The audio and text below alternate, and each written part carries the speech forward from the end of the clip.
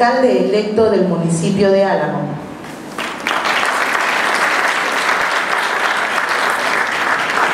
A la maestra Adriana Marisela Piña Gaona en representación de la licenciada Emma Alicia Muñoz Remes, delegada regional de Tuxpan. Al profesor Onésimo Esteban de la Cruz, enlace institucional de la Secretaría de Educación de Veracruz en Álamo.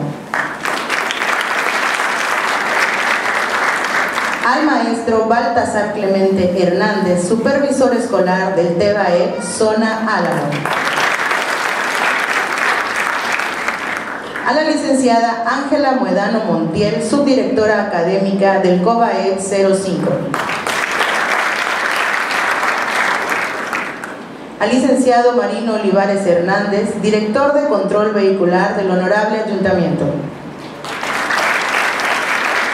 Y por supuesto un gran saludo para todos los medios de comunicación que el día de hoy nos acompañan y nos hacen el favor de llevar el mensaje a toda la ciudadanía. Como primera intervención voy a solicitar la presencia de la licenciada Alma Chávez Espinosa.